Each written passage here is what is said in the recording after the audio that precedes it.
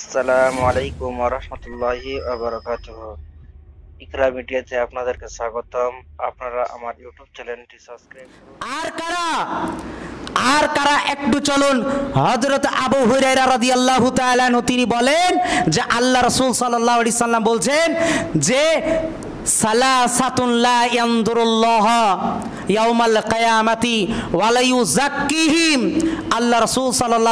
বললেন, তিন শ্রেণির দিকে কাল দিন রহমতের দৃষ্টিতে তাকিয়ে দেখবেন না। তাদেরকে পবিত্র করবেন না। তাদেরকে জান্নাতে দিবেন না। এই কথা আল্লাহ রসুল সাল্লাহ সাল্লাম বলছেন।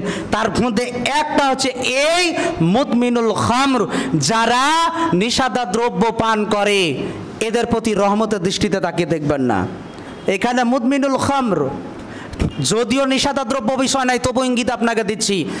যে সমস্ত নেশা করলে আপনার যেগুলো নেশা হয়, এক কথায় মদ খেলে আপনার ব্রেন মস্তিষ্ক ঢেকে দেয়, ফলে তার জ্ঞান থাকে না, জ্ঞানহীন হয়ে যায়।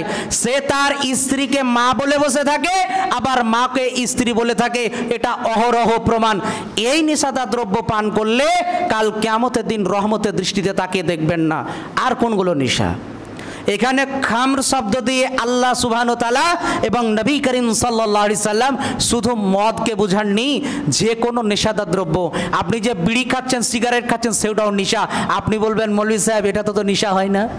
আরে নেশা যদি না হয়, তো খাচ্ছেন কেন? এটা যদি নেশাই না হয়, তো খাচ্ছেন কেন? কি কারণে খাচ্ছেন? কিসের উপকার?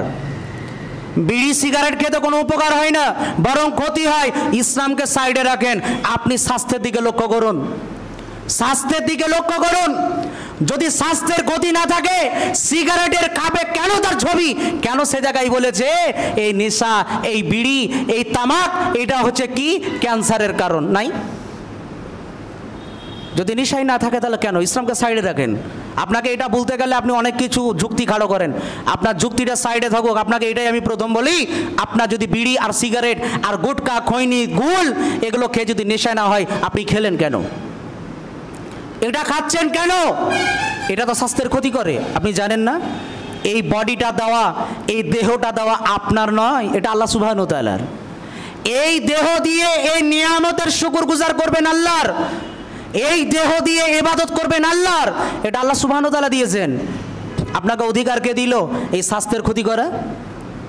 আজকে কেন? মদ পান করে দেহের ক্ষতি করছেন। আজকে নেশাদা দ্রব্য পান করে কেন দেহের ক্ষতি করছেন? এইটা যারা করবে, আল্লাহ নবী সাল্লাম বলছেন, এদেরও প্রতি কাল কেমতের দিন রহমতের দৃষ্টিতে তাকিয়ে দেখবেন আল্লাহ তাআলা। আছেন কোন জায়গায়? আর যারা